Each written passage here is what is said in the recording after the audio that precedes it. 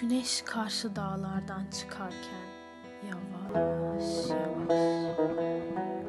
Köprüde görülüyor hararetli bir telaş.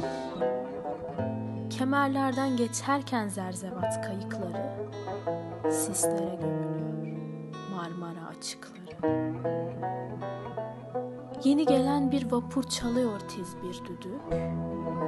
Yanaşarak köprüye alıyor Köprü yangınıyla bu hoyratça Buse'nin inliyor tatlı tatlı, inliyor derin derin. Ufacık bir istimbot ötüyor canavarca, bu sesle sarsılıyor köprü dakikalarca. Artık o da uykunun zincirini kırıyor. Bu ihtiyar haliyle köprü barındırıyor nice sefil muhitin, sefil çocuklarını. Akıntı sürüklerken kampüs kapılarını, mavmalarla dolarken boş kemerlerin altı. Dubaların üstünde yığın yığın karaltı. Görülüyor ki bunlar köprünün çocukları. Bunlar işte hayatın bugünün çocukları. Bakın birisi yanayarak kasketini güneşe yalıtıyor kabuk tutan etini. Kim bilir ki bu çocuk ne işler işleyecek. Belki üç kuruş için birini şişleyecek.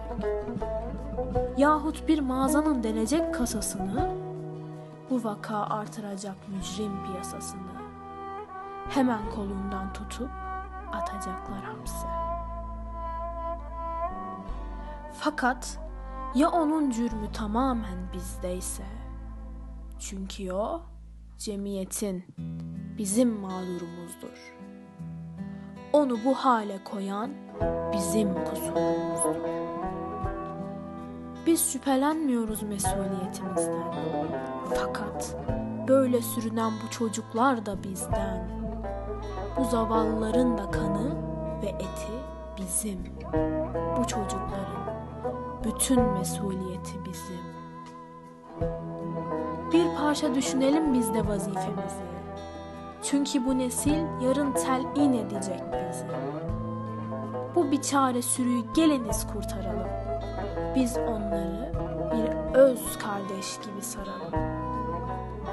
Onlar kendilerine açılan bir avuça nasıl atılacaklar bilseniz koşa koşa. Ah onlar tutunacak birer el arıyorlar. Bize yalvarıyorlar. Bize yalvarıyorlar. Sırayla oturmuşlar dumanın kenarına. Güneş hayat veriyor. Köprü çocukları.